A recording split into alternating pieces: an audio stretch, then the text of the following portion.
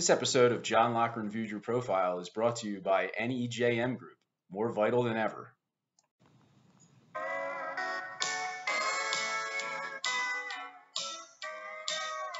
This is John Loughran Viewed Your Profile. This episode's guest is president at Biopharma Media Services and past AMM president, Lisa Healy.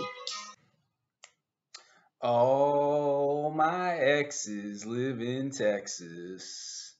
Well, that's not true. Most of them live in Pennsylvania, where it's actually sunny. It's March and the weather is getting nicer. People are getting vaccinated. March Madness is coming. There's just a lot of good stuff on the horizon. One of those good things on the horizon is the upcoming AMM Nexus Awards, which I'll talk with my guest about today. Somehow I've landed on the committee for this event, and I'm still not sure if I'm helpful at all, but I'm trying. I can at least plug that the event will be June 15th, 2021. Got to stay tuned to hear more about it. So, most of the snow from this brutal winter is now gone, and with temperatures rising, it's been nice to see the outside world a little bit. I'm actually having lunch with someone this Friday, which might be the most exciting thing I've done in months. Praying that we return to a normal situation where I can get back to taking simple lunches for granted, not circling them on my calendar in big red smiley faces. Thinking warm thoughts, I was just looking back through pictures of my family's trip to Disney, which feels like it was forever ago. I saw this cute one in front of the Magic Kingdom and couldn't put my finger on why it looked like a familiar pose. Then it hit me. We're basically the Daniel Tiger family, except with pants. So my guest this episode now lives in Texas, which from my limited geographical knowledge I'd think would be warm, but I know they've had a rough winter as well. Hopefully it's getting nicer there too, and we'll find out more from Lisa Healy is president at Biopharma Media Services, is past president of the AMM, and is still highly active with the association. Welcome, Lisa. How you doing? Thank you so much for having me. I'm so excited to be doing this with you. I awesome. love watching them, so I'm a big fan. Oh, I appreciate that. I appreciate that. Uh, so let's give the other fans some exciting things to talk about.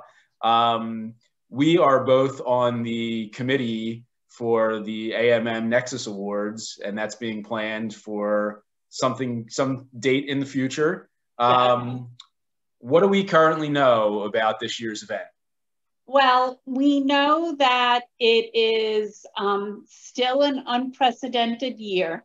Um, and um, instead of trying to plan for a live event like we did last year and having to push, push, push, and then things getting all mashed together, we decided to make it virtual. So it will be in June, and we will be awarding our 2020 Nexus Award winner. Um, but the voting will be going out very soon. Um, and we're really excited about the voting. Um, thank you so much for your help because we really wanted to highlight this year um, when you're picking the winner, when you're thinking about it, like what did people do in this crazy year of COVID to really stand out? Um, so we'd like all the media folks to really think about that.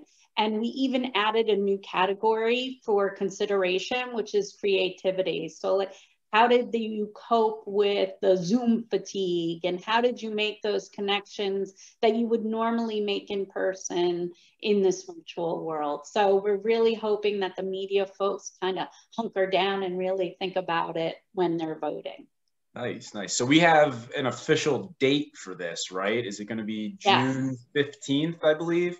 June 15th, and it will be virtual, but I think it's going to be such a worthwhile virtual event.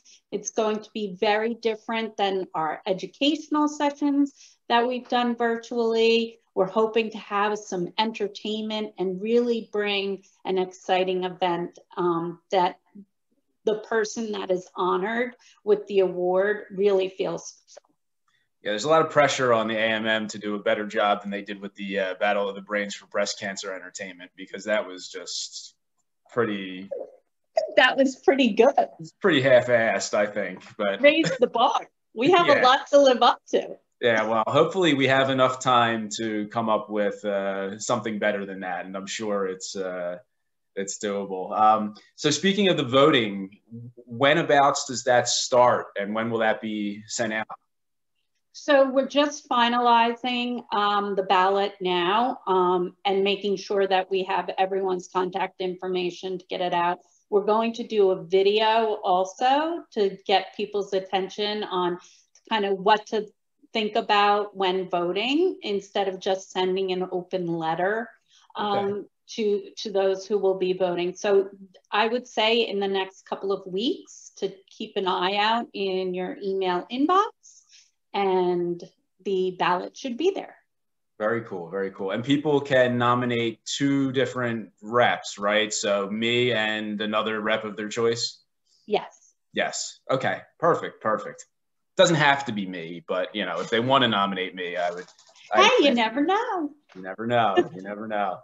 Um, cool. So I mentioned in the in the intro, um, you know, you're not only heavily involved with AMM, still you're past president, um, and you still do a lot. Um, how was your experience as president? Um, and what are you still what are you still involved with today outside of you know being on these committees? Um, how are you still involved with AMM? So, um, I, gosh, I would say I've been pres I've been part of AMM for over 10 years. And Art Wilczek brought in a couple of media folks all those years ago and uh, he invited me to be on the board. And it was really a great experience um, because it gave me a perspective. Like I had somewhat of a perspective about the publishers and um, what they experienced in our world and our industry because I started out in sales. Uh, and then went into media, which is kind of the opposite of what most people do. Um, so I had an appreciation for what the sales reps do, but not really understanding kind of the bigger picture from a publisher's perspective. And that's across all media. When I say publisher, I mean site, whatever the property may be. Mm-hmm. Um, and it it gave me the opportunity to understand their position um, and then also was able to bring like the media's side of this this situation. Um, and how could we really work together to build our industry and our business? Because we all have the same kind of stake in the game. Um, and then art wilczek um, two years ago recommended um, me as president. So I was the first media person to hold the office of president for wow. AMM, and it was really humbling uh, time. And I was very lucky because it was pre-COVID. Poor Hank Blaney after me, and now this year Eileen Henry. They've had their hands full um, running the organization. But all the members are great because um, they've really been supportive of the industry. And I, I really feel like we're both have the same vested interests um, with AMM. Um, and I, I feel I was trying to be very aspirational when I was president. Um, I think we did some great things and we had a great year. Um, I still work hard to try to make it even more valuable for the media folks. I always try to put that lens on like what value can a media person get from an educational session. So that's where I'm sharing and spending my efforts now post president time. Um, I'm uh, the chair of the education committee and I have a great team there. They're, they're fantastic and it's pretty much 50 50 publishers and media folks um, creating the content for our educational sessions this year. Awesome, awesome. And they're great. And there is a ton of value that everybody gets out of those. So thank you for all the hard work that you do.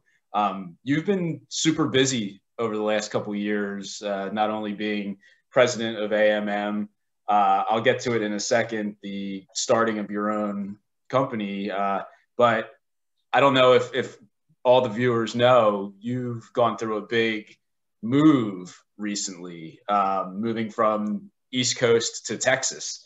How's that transition been for you?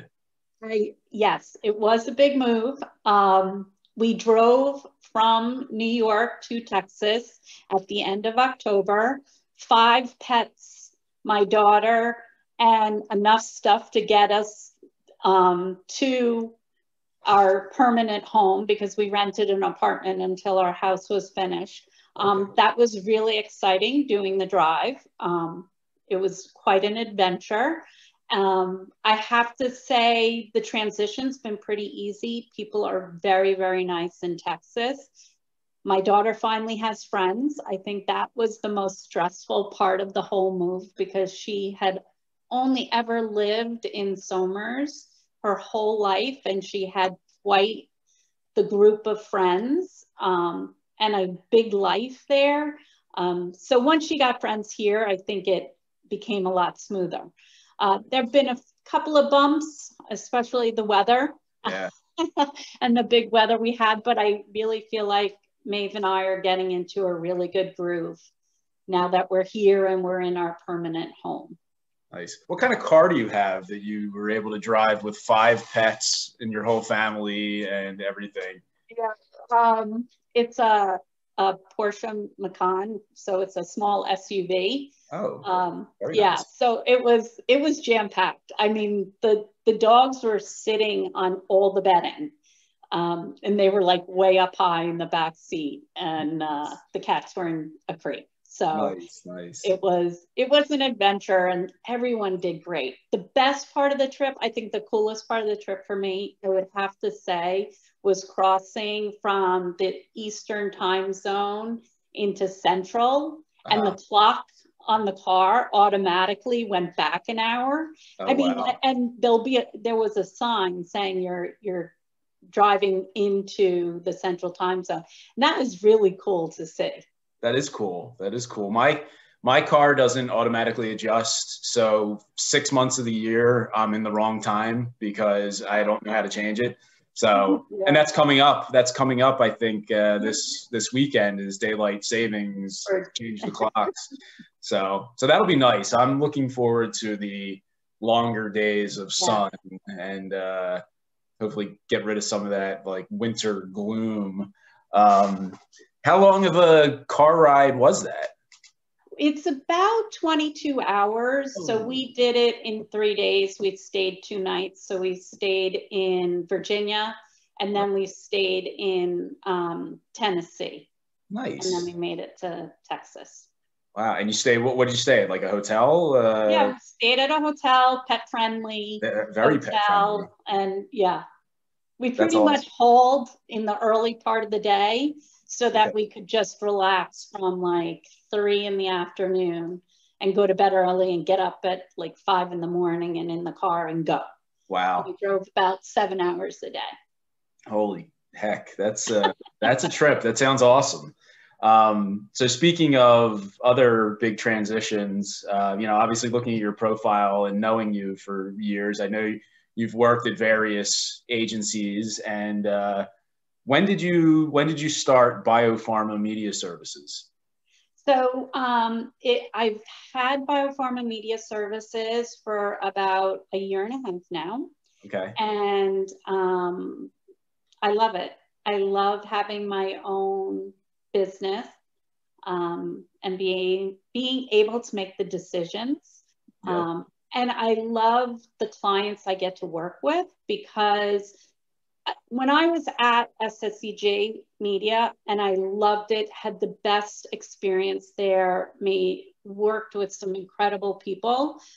I always tended tended to work with the clients who are on the smaller side or who or the managed care accounts you know? So it was always a little bit more niche the stuff that i was working on but and it was hard for them to work with a big agency because the budgets were on the smaller side. So i felt there was kind of like a gap in the industry and that's why i started the business so that i could work with those smaller clients who didn't have the bigger budgets that you know and and didn't require all the different layers um, to do their their media so Gotcha, gotcha. So, so that's anybody that's listening here that needs a specialized agency. Uh, yes.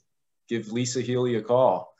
Um, I actually, you know, this kind of segues, you know, running running your own company, all this. You have a very impressive uh, educational background. You, I saw something on your profile that I don't see on many uh, profiles that I take a look at. Not only do you have a communications degree, but did you go to law school?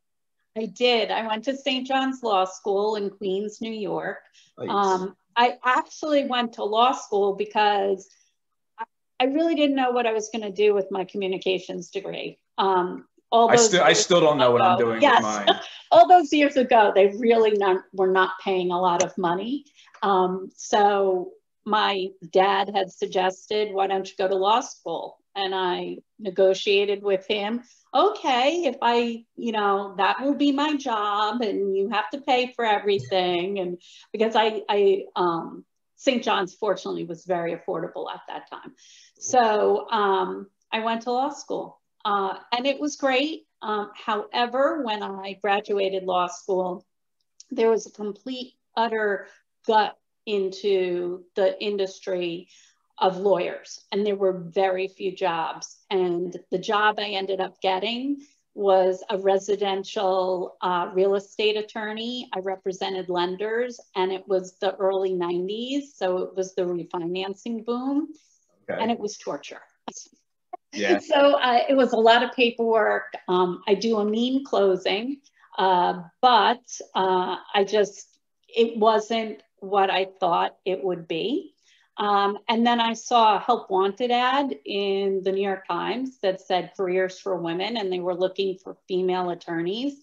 And it actually was a, a job, a recruitment company, and they were looking for salespeople, and they just felt women attorneys um, were going to be great salespeople. And then I went out selling for a local newspaper in Manhattan. And I met Michelle Janin because her husband was running a dry cleaning valet service in the city and he wanted to do advertising. So I went in to meet with him and he said, Do you mind if my wife sits in? She's, in, you know, she is in media. So I said, Sure, not a problem. And I did my pitch. And then Michelle's like, Have you ever thought of working at a magazine? I'm like, I could never work at Cosmo. And she said, Oh, no, there's this whole world of healthcare advertising and media. And, you know, a couple of months later, I ended up joining uh, Michelle and working there with her. Wow. Yeah. That's that's great. And then how long were you on the sales side before you went over into I would say maybe like a year and a half. I, I just, I really liked working with the product managers. Um, the, the media folks didn't always like that, but I really did like working with them. Um, and I liked the little projects of it. Um, and even though it was very different, um, the also the publication I was on was struggling a little bit. Um, and I would call on Perry Colber and he worked with Maureen Reichert. And, you know, Perry was like, I think she would be good. They needed a media person. And he's like, I think we, we should look at her. And I met with Maureen and they hired me. And it was a very little learning curve, fortunately, because I'd been selling and the rest is history. Now Maureen's in sales. Yeah, yeah, you're right. I mean, I do see a lot of start in media, go to sales. You're yeah pretty unique in the having it the other way around. But I think to conversations we've had offline, uh, for both what we currently do, having the experience, I had started in media, now I'm in sales, you vice versa, really kind of helps the process of knowing what's going on on, you know, with the, the people that you're talking to. Yes. I think uh, you can be very empathetic for the other person. Yes yes, yes, yes. It's it's it's good to have have that experience. So shifting gears uh, from your career, and you know, I usually don't catch a lot of this on LinkedIn profiles, but I do I do get a little stalkery on them and try to look for interesting nuggets. Uh, so one of on mine, I I don't follow many people, but one of the one thing that I follow, and it's only because I saw it on. He was talking about it on his show. Was Conan O'Brien? I follow him because he's like he's like I want a big social media presence. He's like I don't know what the hell LinkedIn is, but I know it has something to do with business. I want to be, you know, one of the top influencers in it. Um, so I see on yours that one of the areas that you're interested in is actually Adam Carolla, who's a comedian. Are you? I'm a big fan of his as well. His podcasts are awesome. Um, are you a big fan of comedy in general? I say I love to laugh. My quote in my senior for my yearbook of high school was laugh to forget but don't forget to laugh i just love laughing i think it's the great it's so healthy it's such a good release um, and adam carolla makes me laugh so i wouldn't say like I, I go to comedy shows but every time i've gone to a comedy show i've laughed and i've enjoyed it so, but there aren't like people I follow and I have to go and see. But I do, I do love to laugh. So I would have to say I love comedy, and I just love Adam Carolla's like take on life. Yep. He's like a bit of a curmudgeon, but yep. I, I kind of like it. And he just is like, it's his way. And yep. he's built a life where it can be his way and it's kind of like house that show the doctor i like yeah. i would love to be that good at something where i could just be however i want to be yeah. Um, so i kind of give them a lot of credit for that kind of character um, i love um, i did for love adam so much he actually is on tour the year of my 50th birthday. So that's what I did for my 50th birthday was to go see an Adam Carolla show. Nice. Yeah. How, how is he at stand up? He's great. great. And you would be so surprised by his audience. It's like 50 50. If really? male, female, and you would, it could potentially be heavier weighted female. Wow. Yeah that's funny because I mean, uh, one of the things that made him most famous was the Man Show. Yeah. Yeah. Yeah. yeah. I also like um, he does another podcast podcast with Dr. Drew Pinsky. Oh which yeah. He did Loveline with. Love um, yeah. So he does like a half an hour. It's I'd say four days a week. They do a podcast together. Um, so he has some good podcasts other than the Adam Carolla show. He has other ones. So I kind of listen to the other ones too because I'm a little obsessed with him. I don't know why. You know, he's hysterical. I, yeah. I'm, I'm a big fan. He did one of my favorite comedians is this guy Norm Macdonald who used to be on Saturday Night Live. Him and Carolla are very similar, and they they they yeah. did an episode where Norm Macdonald was on, and of, of all the things they were talking about uh, the lyrics to Kenny Rogers songs, and it was the funniest thing I'd ever heard in my life. They were just like breaking down the lyrics, and I was just dying the whole time. So on a big um, with Dr. Drew, Drew Pinsky, he's on a big um, love boat. They watch all old episodes of the Love Boat. Nice. And nice. they critique them. It's really very funny. Nice, nice. Have they, have they gotten into the Ted McGinley episodes? he's known as oh. a, a, a series killer. I don't know why. He was great on. He's still on the earlier. Yeah. Gotcha, gotcha. well, it's it's fine. I, I know that you uh, like to laugh. I remember on. Uh, I remember I was looking specifically at you on our last Nexus committee Zoom call as my nine-year-old daughter walked in and was just standing here, and you're just cracking up in the corner, and I'm like, I know she's looking at me Yes. Yeah. I was. I love it. I think, especially in this age of COVID, we all have that. Like, I've had so many times, and I try, I closed the door to the office today so I don't have a cat walking across the street nice. or dogs barking like crazy. So, uh, it, I think we're all in the same boat. And I just find like real life yeah. so refreshing. Yeah, yeah, I, I feel the same way. And I, you know, trust me, my door was closed. It wasn't locked, it was closed. They see me sitting here talking to a computer screen like a crazy person. Doesn't matter. They're still going to come in and see what's going on. And uh, they like they like to be seen as well. So uh, I'm glad I'm glad my uh, situation can provide a little comedic relief. Speaking of pets, here's my here's my buddy. This is this is Millie. She Is was. it Yorkshire Terrier? It's a Yorkshire Terrier. Yeah, yeah, Aw, yeah. She she's just cute. she just got up from sleeping in the sun to walk over to her little bed. So right on cue, I thought I'd pick her up. All right, I'll leave her I alone have a now. part Yorkie. I, we think she's part Yorkie, and she she shakes like that too. Yeah. And she Yep. loves the sun. We say she's part cat because she'll lay in the sun all day long. She'll Yeah. go in the the windowsill and hang out. So I've actually kind of said to myself, I've seen her go lay in the sun, and I say, well, I want to see what all the the hubbub's about. So I'll now lay in the sun like a dog, and it is it does feel nice. So It does. they're onto something. That it's the vitamin D. It is. It is. Yep. So listen, I can sit here and BS about stuff all day. Uh, obviously, we want to be respectful of your time and keep it relatively short. But last thing, uh, is there anything else that uh, our viewers should know about what's going on with Lisa Healy? Just if um, you ever want to come to Texas, I'm outside of Dallas, Fort Worth, uh, about a 30 minute drive from the airport. So if you want to visit and experience some Texas, come on down. I, I'm getting to learn. The more people that visit, the more things I can do. That's awesome. You're not going to become a Cowboys fan, are you?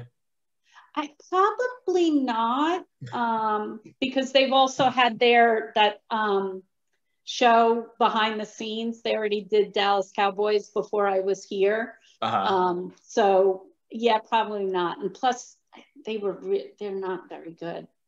That's true. That's true. As an They're Eagles fan, good, but an, there as are serious fans here. Like oh yeah, the Pink Store has Dallas Cowboy paraphernalia, like Dick's Sporting Goods. You know how, like in New York, it's the Giants, the Jets, the Mets. Yep. Like here, it was like a wall of Dallas Cowboys stuff when I walked Wow. in the other day. Yeah, it's like crazy. You never think about it until you go somewhere else. Right, right, right. Yeah, Now that's. Uh, I don't know if I could live in the Dallas area just as a 41 year hater of the Dallas Cowboys. I think uh, it would be hard for me to do that. But You know, in the East Coast, you have other rivalry things, you know, because there are some Patriots fans in the New York area. So there Yeah. are like things like that. Very true.